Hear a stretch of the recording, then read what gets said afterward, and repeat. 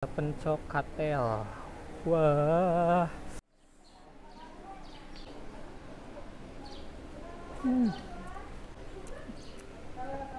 Saya pikir ini tuh akan renyah, tapi ternyata enggak, enggak renyah. Assalamualaikum warahmatullahi wabarakatuh. Wah, saya udah tiga jam perjalanan dari Tasikmalaya demi nyobain sangu akel cigale karena di sini ada menu yang kayaknya di Tasik nggak ada. Ada namanya pencok katel. Hah, katel di pencok. Gimana ya? Kita lihat aja langsung ke dalam ya. Tuh, ini bukannya setiap hari, katanya dari jam 10 sampai jam 9 malam. Tuh di sini menu khasnya itu ada pencok katel, oncom cigale, teh gula cakar, tahu talaga, hampas majalengka. Kita nanti cobain ya satu persatu. Ini alamatnya di Jalan apa ya? Jalan Pahlawan. Jalan Pahlawan gak jauh dari alun-alun, alun-alun Majalengka. Oke. Oh, bukan. Jalan apa, Pak? Abdul Ghani. Jalan Abdul Ghani. Karena sanes Jalan Pahlawan. Yuk, langsung kita ke dalam. Nuhun, Pak. Nah, guys, ini tempatnya tuh banyak sekali meja, kursi, terus bisa juga makan lesehan. Di belakang ada eh, pawonnya juga dan kita ngambilinnya tuh di sini kayak prasmanan gitu ya. Oke, guys, kita sekarang ngantri dulu ya. Nah guys, di sini juga ada ayam negeri. Aduh, potongannya ini gede-gede banget tuh. Ini satu ekor dibagi berapa nih? Kayak gede banget sih. Tuh, ini bagian dada, terus ini bagian paha. Berapa ya teh satu potongnya teh? Kalau yang dada itu nomor berapa? 19 atau 17 kan? Ini dada. Ayam ini udah kalau nggak salah 16 Pak. 16.000 ribu. Waduh, gede banget segede gini 16.000 ribu. Kalau yang ini bebek tuh, teman-teman ada yang suka bebek nggak? Biasanya kalau bebek itu dibanding sama ayam agak lebih alot ya si dagingnya. Ini ada pepes-pepesan juga dari pepes oncom, ati ampela, terus ada tahu, jamur, sama pepes ayam juga ada.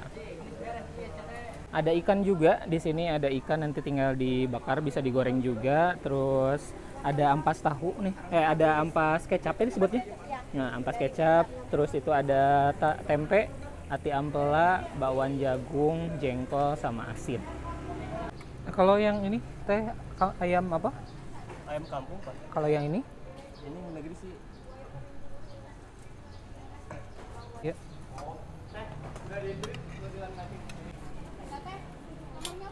Ah, ini mau buat dibungkus ya. Oh ya.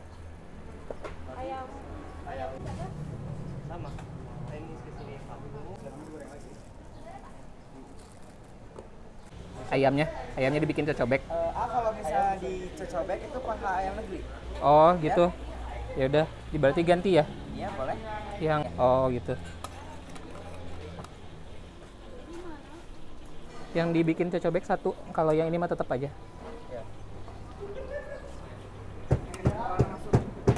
Makan di sini ya. Nah guys, ini jadi keistimewaan di sini tuh pakai nasinya nasi akel, jadi sanguna tuh tinggal di dipasakna dina hawu, pakai seeng, pakai asepan dan ini lagi di apa di angin-anginin. Guys, nah nih ini pencok katel. Jadi katanya dari tanaman katel namanya. Kalau di Tasik apa ya namanya atau di daerah kamu ini namanya apa? Daunnya saya nggak tahu sih ini. Di Tasik nggak pernah tahu saya. Tapi katanya kalau di Majalengka tuh ini namanya pencok katel. Jadi dibumbuin pencok sih. Biasanya kalau di Tasik kan eh, pencok itu lenca sama kacang panjang ya. Nah, di sini pakai ini. Dibumbuin.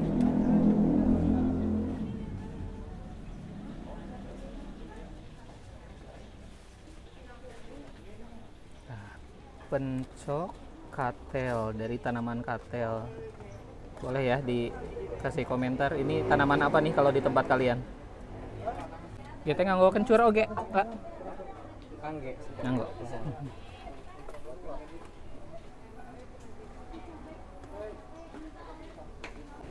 Nah ini satu lagi yang unik dari Majalengka adalah es teh manis yang pakai gula cakar. Jadi gulanya tuh pakai gula apa ya balok kayak gini. Ini dari gula putih juga katanya tapi diproses lagi terus pakai pewarna makanan aman kok pewarna makanan ini bukan pewarna tekstil tentu saja ya. Nih guys ini pesanan saya tuh dari yang paling primadona dulu. Ini ada pencok katel.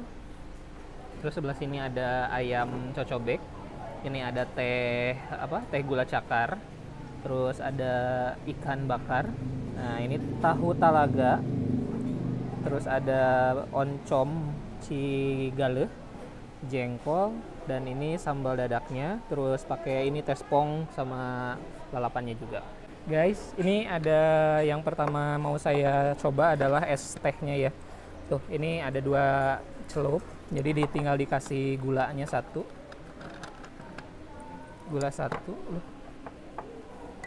Gula satu langsung diseduh. Langsung diseduh.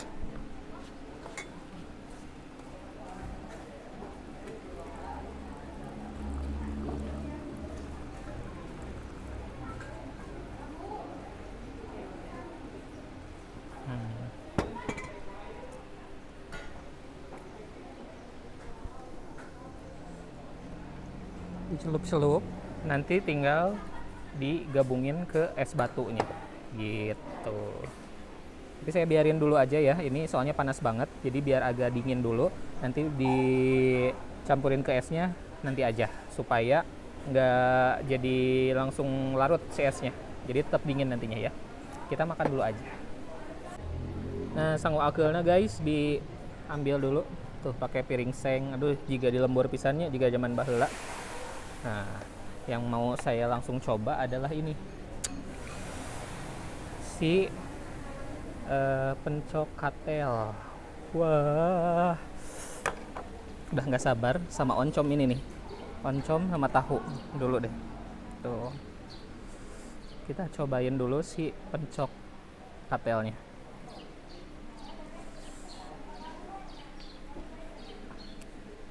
Bismillahirrahmanirrahim. Hmm.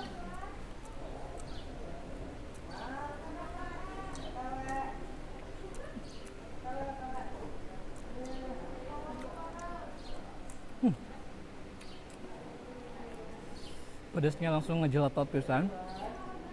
Saya pikir ini tuh akan renyah, tapi ternyata enggak, enggak renyah.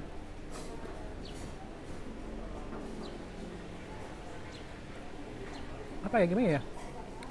Unik banget baru kali ini saya nyobain daun yang lembut gitu. Kira-kira bakal ngerekes gitu dah. Aduh enak banget. Oncomnya. Tuh kita diancurin gini ya. Oncom. Oncom aja.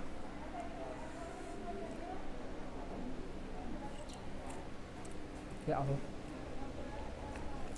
nikmat banget. Aduh nikmat. Sumpah ini nikmat. Ya Allah iya. Iraha buka cabang di Tasik eh.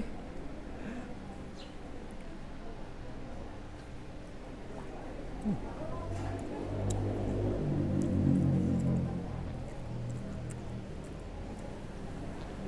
Kan jadi kedelai juga ya ampas kedelai. Jadi mirip-mirip kayak tempe sih. Ini enak dan gak bau gak bau busuk gitu. Nah tahu tahu talaga digoreng. Kayaknya tahunya udah dihancurin terus dipakai dikasih bawang daun nih.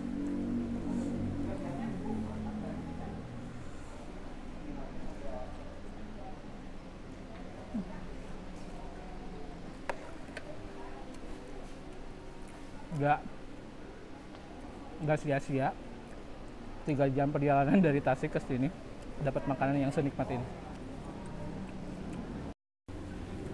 Tuh, yang ini sih ayam cocobeknya. E, banyak dikasih kuah cobeknya. Tuh.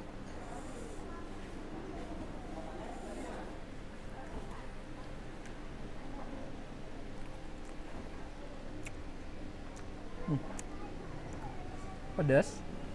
Terus si rasa kencurnya tuh dominan banget lumayan bareng. Enak. Oh ikan. Cocol ini sambal deh.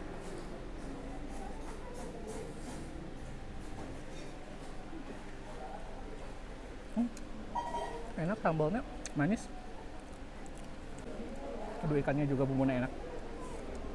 Nggak ada yang gagal. Enak semua. Oke okay guys. Jadi sekarang tinggal langsung uh, apa? Seduh ke sini ke es.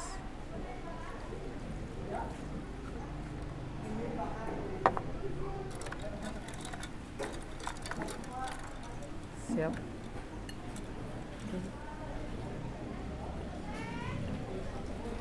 Hmm. tadi saya nyobain tambahin satu. Ini manisnya jadi tidak terlalu manis. Eh, jadi kalau mungkin standarnya mungkin harus ditambahin bukan satu. Tapi kalau saya karena memang tidak suka terlalu manis, jadi ini udah pas. Tapi kalau pengen lebih manis lagi kayaknya dua sih atau mungkin tiga itu udah pas rasa manisnya.